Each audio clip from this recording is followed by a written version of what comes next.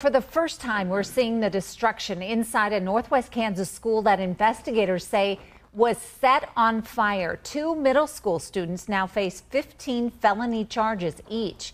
KAKE's Leon Purvis continues our coverage tonight. He joins us live in the studio after talking to the superintendent. Leon. Deb, these are just photos of some of the damage that you can see in this monitor right here behind me. It's the aftermath the fire caused the 98-year-old school building. A 12-year-old and 13-year-old are detained. Tonight we hear from the Rawlins County superintendent about what happened.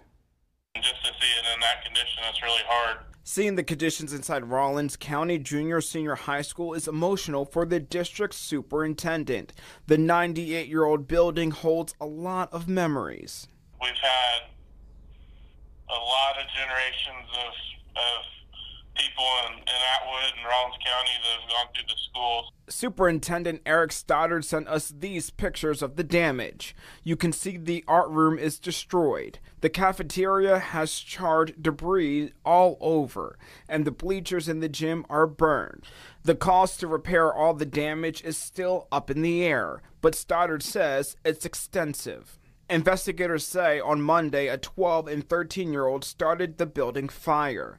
10 firefighters were injured. The kids are being held on 15 felony counts, including terrorism, arson, and battery. Stoddard says despite what happened, the school is still a safe place for students to learn. We have good systems in place um, for kids who need help, for kids who are struggling, and we, we don't plan on any of that going away.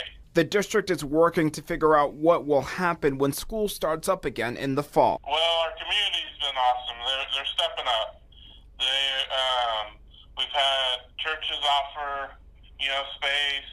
Um, you know, other other people who own some buildings have offered. We're here for the community, and we're gonna we're gonna get through this. And um, we don't know exactly what it'll look like, but we're we're planning on starting school August 22nd.